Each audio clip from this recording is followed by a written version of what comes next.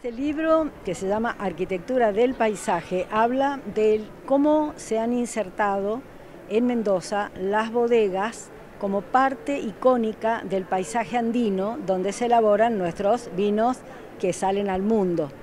Y mm, tiene una parte de textos en inglés y en español, muy buenas fotografías, un prólogo y una introducción que habla de la cultura del vino en Mendoza y finalmente una documentación de planos de todas las bodegas con dibujos magníficos. O sea, la intención fue mostrar un grupo de nueve bodegas que hicimos entre los años 2000 mm, eh, y 2016 y explicarlas en sus conceptos, en sus visiones y en lo que les puede interesar a todo público y también especialmente a los arquitectos.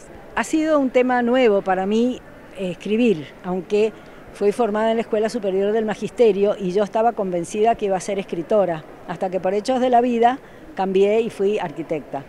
Pero es una experiencia muy interesante porque de arquitectura el público en general, las personas saben muy poco. Nunca en la escuela a nadie se le ha ocurrido enseñar qué es arquitectura. Sí que es arte, que es eh, pintura, escultura, música, letras, pero arquitectura no. Y sin embargo, arquitectura siempre ha sido una, un arte.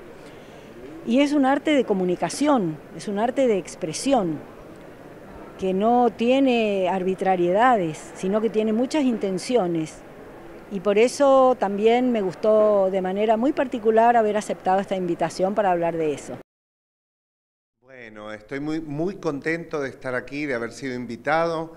Eh, para mí es un evento muy importante, soy un gran lector, además de, actor, eh, soy un enamorado de la literatura, trato de estar muy, muy vinculado al mundo de las letras, actualizado.